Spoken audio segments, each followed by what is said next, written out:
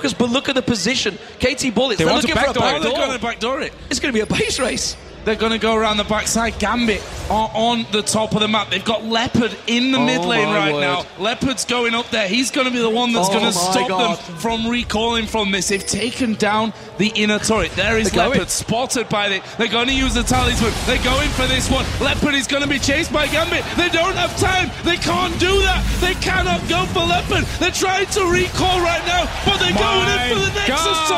Can you believe it? The KT Bullets way. go straight through into the base. Genja comes down as well, but the Nexus What? goes down. Oh my god!